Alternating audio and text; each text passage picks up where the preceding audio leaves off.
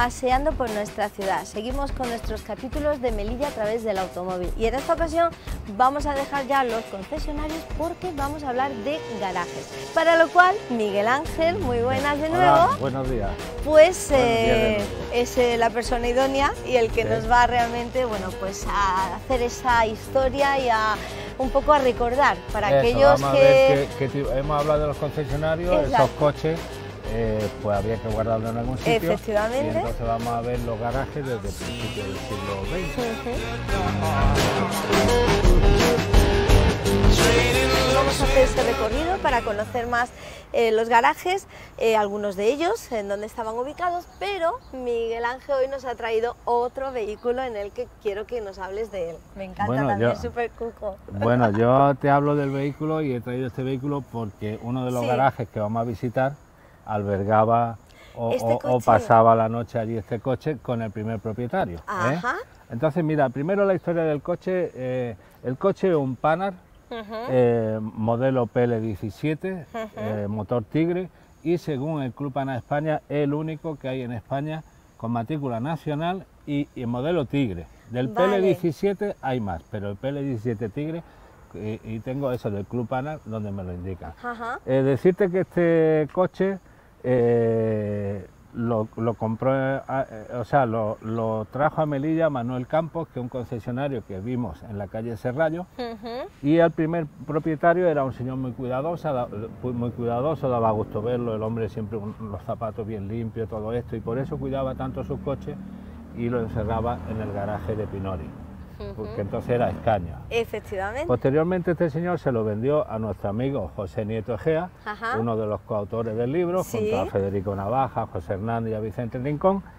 Y este hombre lo tuvo un tiempo y ya me lo, yo no paraba de decirle, Pepe, me lo tienes que vender, tienes que vender, hasta que se hartó de, de mi pesadez y, me lo vendió. Y entonces yo, yo desde entonces lo conservo peor que los dos primeros propietarios, que eran más manitas que yo y más cuidadosos, pero vamos, está en estado original, que verás que hay alguna cosa en tapicería, eso, que es que después de 60 años, porque es de 1962. Sí. Eh, Panar una, ha sido siempre una marca muy innovadora, hay, hay diferencias de criterio, unos dicen que el primer coche lo construyó Ben, otros dicen que el primer coche lo construyó Panar, a finales de los años 1800, y eh, tiene un, es un coche complicado de mecánica porque es muy rara, tiene poca cilindrada, pero el motor mm, en vez de árbol de leva lleva un árbol de, torsión, con lo cual le permite coger revoluciones muy rápido. Y, anda más a base de revoluciones que a base de potencia. El coche como, como currarle, se le ha currado. El coche participamos en 2009 en un rally que organizamos desde aquí de Melilla, que era Rally al Desierto sin Agua, de sin agua es porque era para coches sin, sin, radiador. Sin radiador, Que eran coches refrigerados por aire.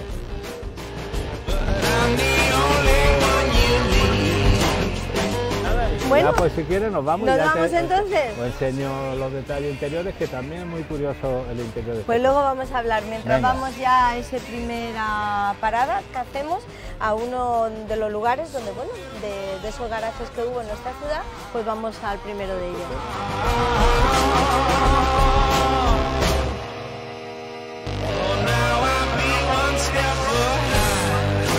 Mira, esto es una cosa que, en los años 60 se usaba mucho porque los asientos eran o, de Sky o, panas y entonces se te pegaba el culo pegado y esto era una de las cosas que, era muy normal. Eh, las tiendas de puestos te lo vendían, pero algunos eran de bolitas, de esos como que te daban masaje. Y este concretamente verás tú que es una pieza que, es una obra de arte, la obra de Nicaragua, que este fue un regalo que me hizo mi hermana Alicia, todo esto hecho a mano. Y verás que por detrás pues respira, con lo cual te, hay una transpiración que te permite ir más, más fresquito.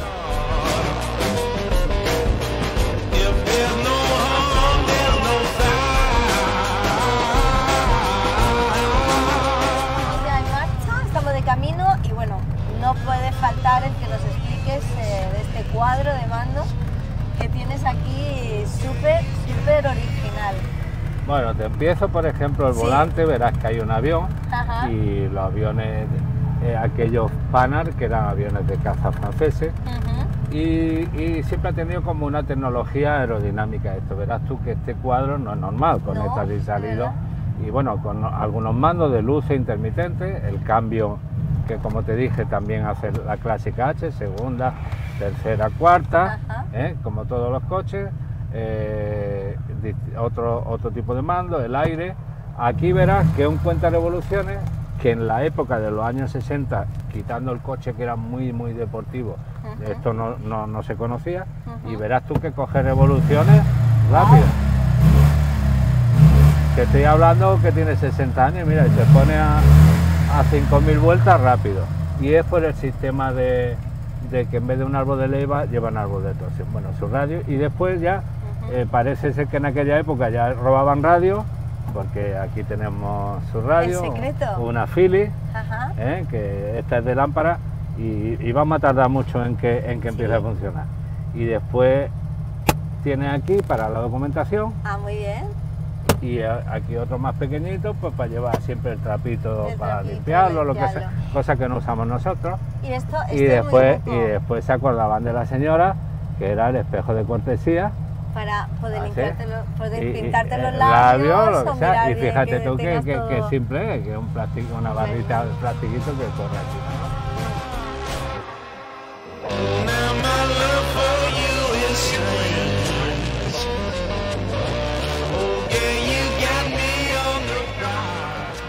Bueno, hemos llegado por lo tanto Miguel Ángel eh, precisamente a esta primera parada en donde nos vas a explicar que era este local, que ahora mismo, bueno, ahora los melillenses lo estamos viendo que no hay nada, está totalmente cercado, pero ¿qué es lo que había antes aquí, pues en este, este sitio? Este solar tan, tan grande, esto fue Garaje España, pero antes de Garaje España fue un centro comercial hispano-marroquí.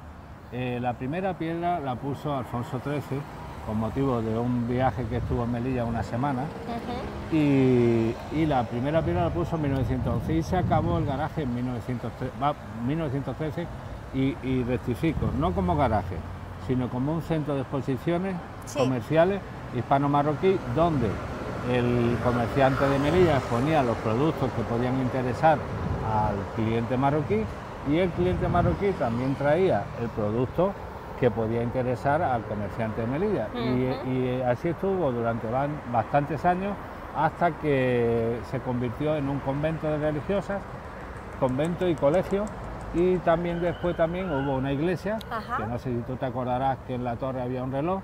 Por, eso, le dicen la torre, la, casa, del, reloj. Así, coloquialmente en Melilla siempre hemos llamado, oye, la casa del reloj. Y, o sea, tuvo, estuvo aquí la iglesia de Santa María Micaela. Posteriormente, en la última fase, lo que yo me acuerdo es que aquí en la esquina estaba Autorecambio Melilla, que era de don Carlos Rivas, que después hizo barco y cosas de estas, un hombre también muy emprendedor, y a la derecha pues la entrada, que es donde está ahora la, puerta esa de, hierro, esa era la entrada al garaje España. Y recientemente pues eso, como era un edificio muy viejo y no había tenido mantenimiento continuo, pues hubo que derrumbarlo ya por ruinas y es lo que tenemos ahora, el solar.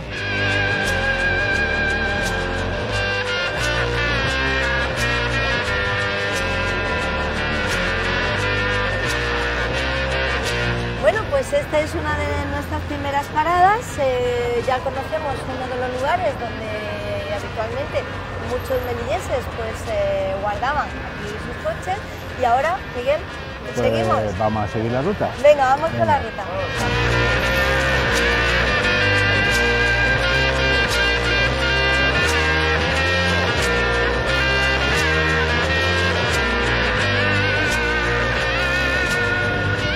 Bueno, pues hemos atacado precisamente frente al Teatro Cine Perelló y vamos eh, con Miguel Ángel a desvelar el por qué nos hemos venido precisamente frente al Cine Perelló. Estamos en la calle Pola Vieja, ¿eh? muchos de ustedes, aquellos eh, que a lo mejor más mayores, que no estén aquí en Melilla y recordarán la calle, y los que viven aquí, bueno, pues saben realmente en dónde nos encontramos. Miguel Ángel, ¿por qué al final nos hemos venido aquí? Sí, pues mira, el empresario Manuel Perelló encarga entre 1926 y 1928, quería crear un garaje en este solar, pero además un garaje con la última tecnología, pero a nivel mundial. Yo creo que ha sido la obra más importante que se ha hecho en Melilla eh, con respecto a lo que es garaje. Entonces se acaba en 1928, como podemos ver allí arriba, y, y este hombre pues trae casi toda la ingeniería de Estados Unidos y iba a costar de varias plantas con ascensor y luego unos carritos horizontales que, una vez que el coche estaba en la planta adecuada lo iba a llevar a, su sitio. Hoy en día lo hacen con, informática, que deja el coche y te lo ponen en, eso. Bueno, pero en esa época pues lo iban a hacer eh, con, lo que había, que también era lo, último, lo último, lo último. Bien, entonces eh, hasta incluso tienen que llegar a traer una viga enorme de Estados Unidos que se trajo en un barco consignado por Casa Salama, que tenía consignaciones de barco, y era una viga con unas dimensiones especiales y necesitaba un transporte especial. Y todo era esa viga era para, para, que el espacio interior fuera lo más diáfano posible, que no hubiera piedades por medio que podía entonces obstaculizar.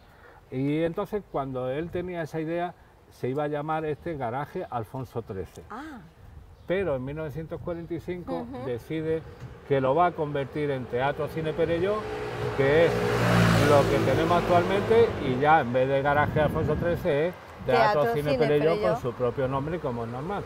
Y realmente esa es la historia, bueno, y por el Cine Perelló hemos pasado todo cuando estaba Butaca, cuando estaba Gallinero, y me acuerdo que el acomodador de Gallinero se llamaba Jarrillo, y era un hombre muy conocido en Melilla y que no ha, regañado a todos los chiquillos por hacer ruido o gamberrear un poquito, ¿sabes? Y, ese es el secreto de, lo que era garaje Alfonso XIII, a Teatro Sino Perello, y ahora nos vamos a ir a otro garaje que era teatro era teatro, teatro Zorrilla, y pasa a convertirse en garaje.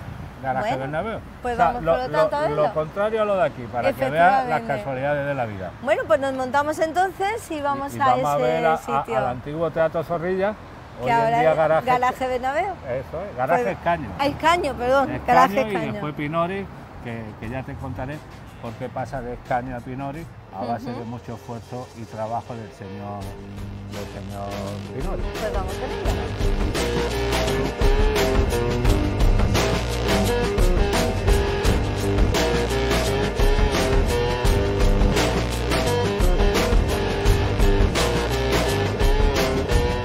Yo soy hijo de, del propietario inicial de Garaje Escaño, pero es cierto que Garaje Escaño como tal eh, se le compró a Rafael Escaño, otro empresario de Melilla muy conocido en la época, que tenía también tiendas en la avenida, Juan Carlos I Rey, muy conocido como Escaño también.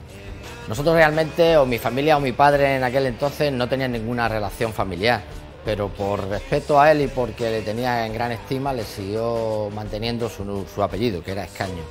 Pero desde el año 1963, eh, mi padre, como decía, se hizo cargo de la empresa y hasta el día de hoy que nosotros somos los herederos.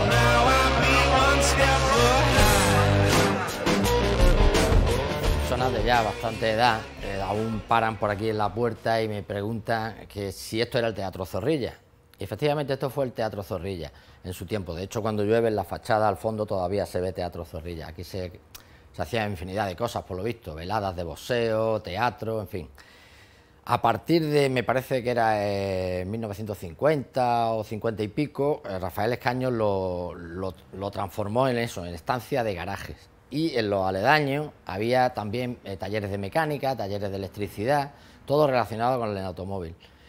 Y bueno, cuando mi padre se hizo cargo de la, empresa, pues siguió manteniendo lo mismo, pero bueno, eh, evidentemente con el paso de los años y en demanda de lo que el público iba pidiendo, pues así fue transformándose el negocio. Esto en principio era únicamente estancia de garaje y tenía unos surtidores en la puerta que era únicamente para el servicio de los que guardaban sus coches aquí. Había solo un surtidor en la salida. Hay que tener en cuenta que antes quien tenía un coche y un coche de alta gama y lo guardaba, era una persona de cierto nivel social alto, ¿no? Entonces, bueno, aquí por aquí han pasado, según me contaba mi padre, todo tipo de, personalidades, desde alcaldes y tal, no sabría ahora darte nombres, pero sí es cierto que yo de chiquitito recuerdo que, bueno, venía con su, era, con su chofer incluso, en aquella época estaba, por lo visto, eh, era muy normal tener chofer.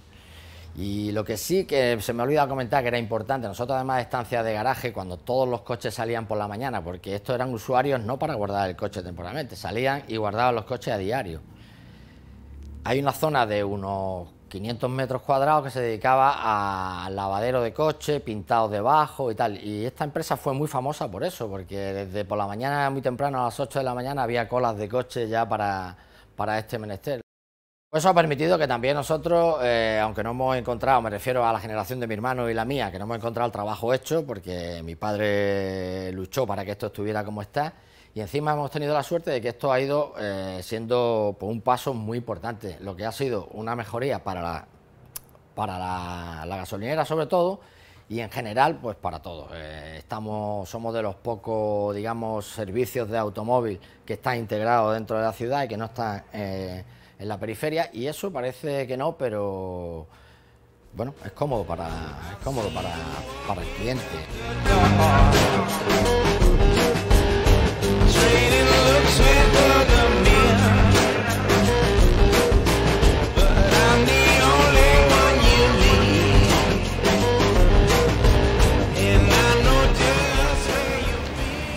Nos hemos encontrado ya en esta rotonda, que es la rotonda del Tesorillo.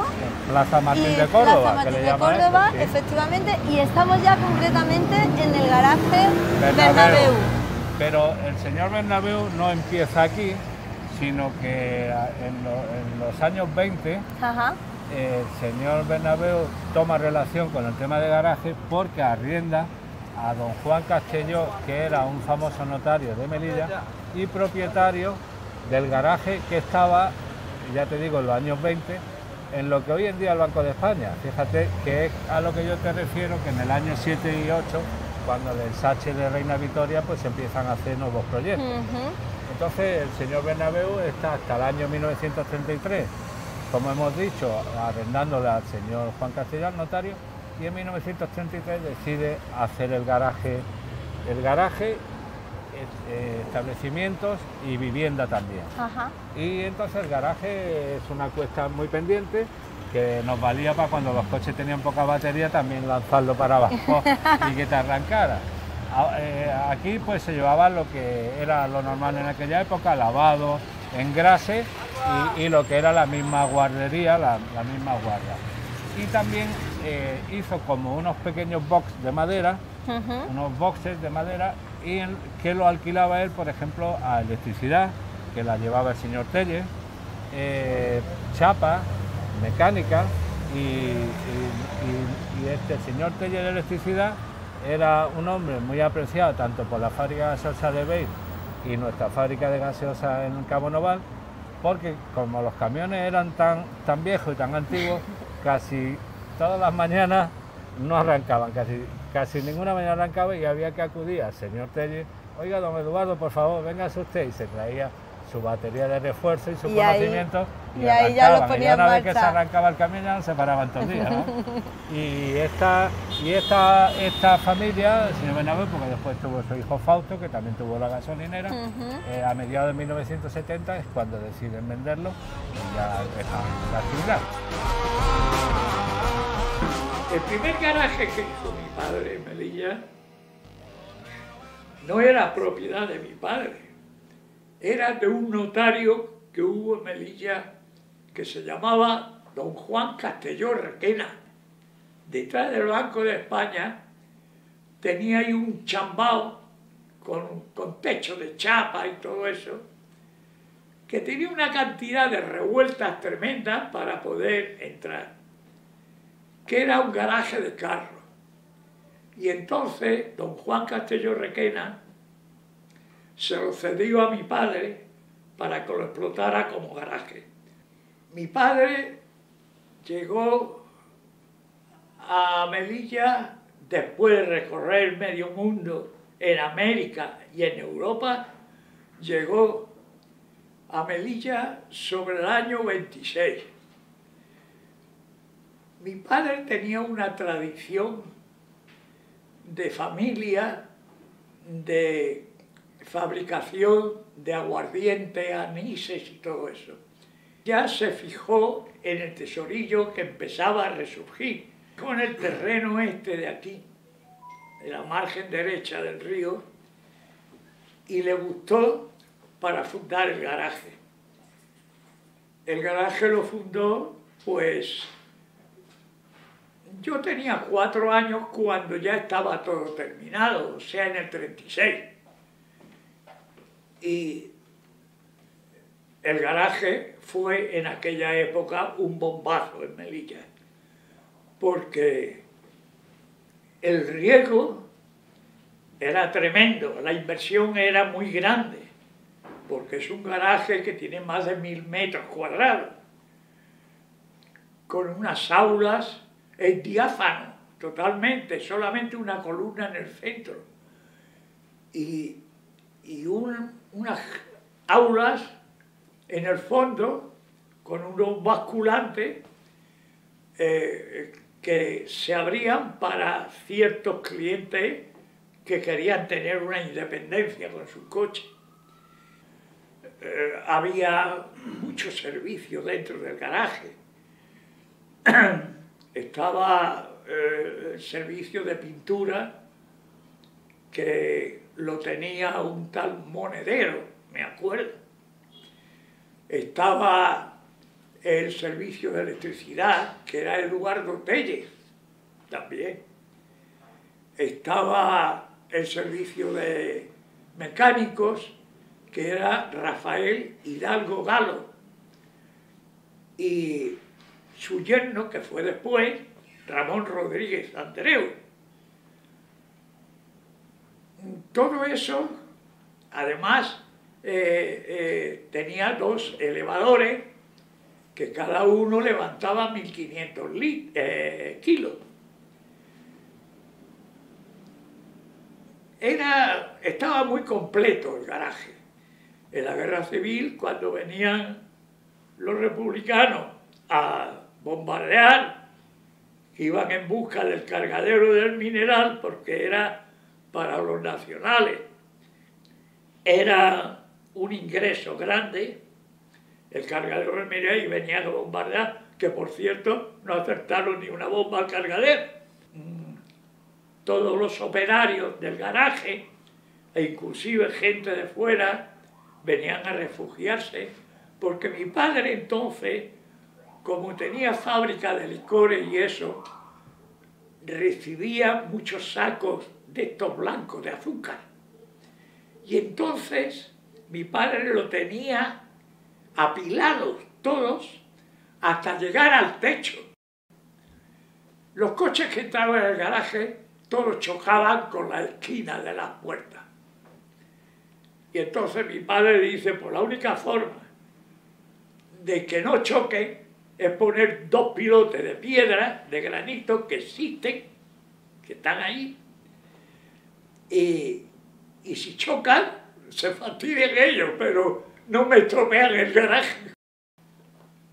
Ese garaje tenía una capacidad para 100 vehículos. Entre los clientes que había, había un don Emilio Sánchez Ferrer, que era el farmacéutico municipal entonces. Otro cliente era don Modesto Sotera, que era médico, también. Benjelú había en los coches americanos el Packard, el Packard era un coche maravilloso, el Plimo, otro, el de Soto, otro, el Chrysler, otro. Predominaban los coches americanos más que los europeos. Terminamos entonces de aquí, pero nos vamos a ir a otro lugar donde también, aparte de lo que hemos, los garajes que hemos visitado, hubieron también otros garajes. y por lo menos no han tenido la importancia de los que hemos visto, pero, sí también, pero sí también lo tenían. Entonces, cuando tú quieras, pues vamos a verlo. Venga, pues vamos entonces a verlo.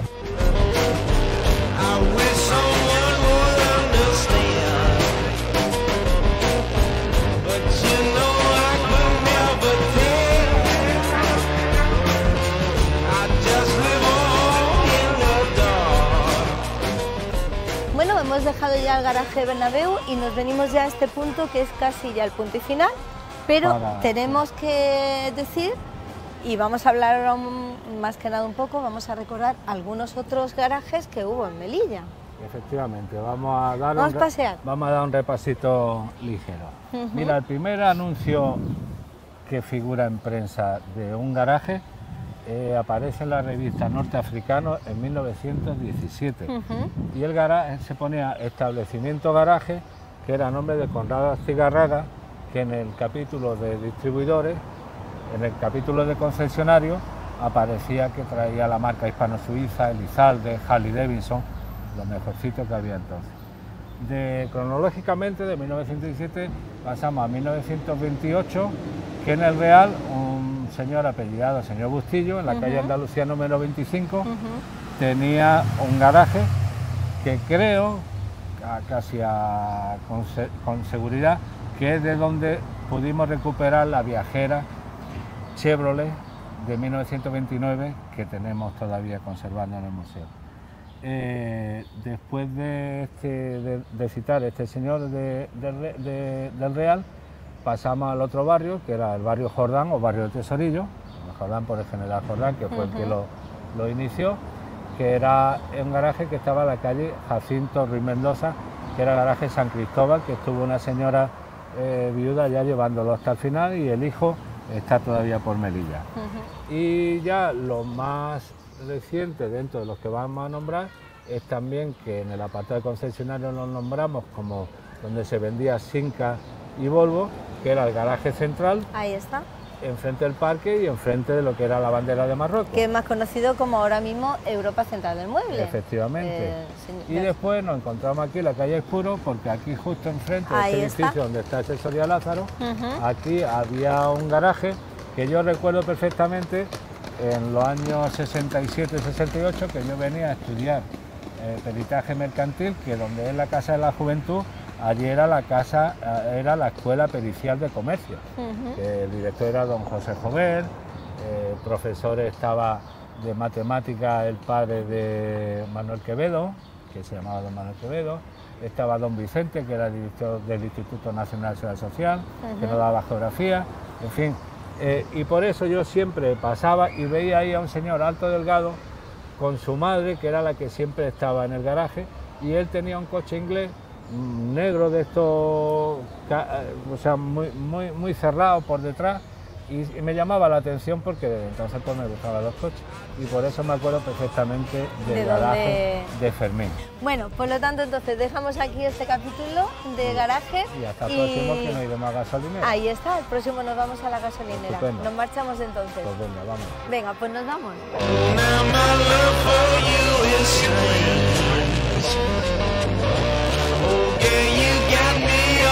Oh, yeah. Oh, oh,